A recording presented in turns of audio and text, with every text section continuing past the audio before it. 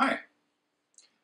I'm not entirely sure what to call this video. I guess it's going to be a first look at a flute that is more of a collaboration. Um, a friend of mine let me know that he was going to be retiring from flute making and his name is Don Butler and he went by Wind Blown Studios. He was mostly a wood carver and a wood turner and he is in a position now to where he feels he needs to stop making flutes due to some moving and things like that that's going on. And so he let me know that there was some wood and, and stuff that um, he wanted to let me get a chance at purchasing from him and uh, a little bit of tooling, um, things like that. Some other things that I might be interested in. And one of the things that um, I wanted to get from him before he entirely stopped was one of his flutes. And he had changed his mouthpiece design because I had taken some of his flutes with me to um, the Solstice Flute Festival in Utah this last summer. And people had commented that the design that he was using on his mouthpiece looked fragile, I guess would be the only way to put it. Um, it had more of a nipple type mouthpiece and, and the nipple portion, um, I'm just going to grab this flute real quickly. This, this part, um, it was rounded like this and then came to this nipple portion, but it was quite long on most of his flutes and very, very thin walled and people thought that it looked a little delicate. So Don had changed his mouthpiece because of the input that I had given him from that uh, little sales venture. Um, he had a few flutes already made. This one interested me. It wasn't quite finished yet. It was all shaped. The, the block was rough shaped, rough cut out. Uh, no tuning holes, and it was probably about six inches longer, five inches longer, something like that.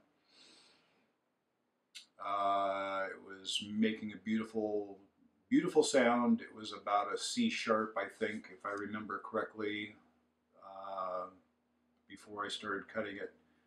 I was going to have him finish the flute. He suggested that I just take it as is and for me to finish it. So we agreed to that.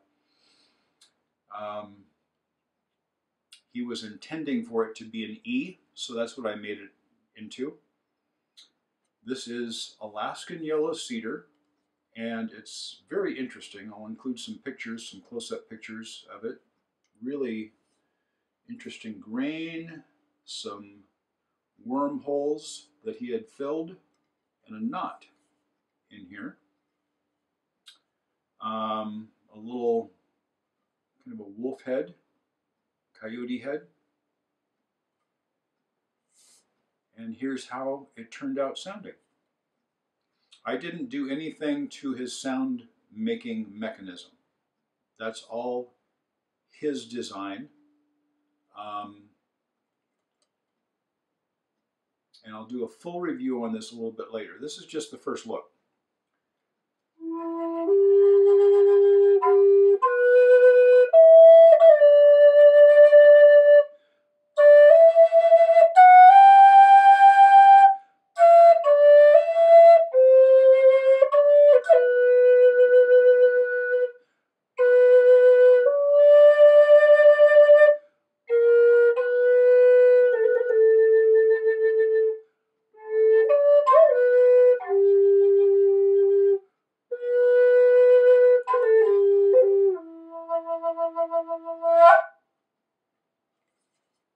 It has turned out with a great, great voice. Um, again, he made the, the sound making mechanism. I just did the the I cut it to the, the length to get the fundamental E and place the finger holes um, kind of the way I do mine and then finish the flute um, sealed.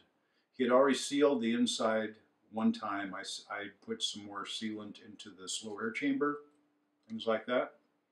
Love the way it turned out and I'm going to be keeping this flute that uh, represents kind of his last batch of flutes. Again, Don Butler Flutes. I'm sorry to see him going.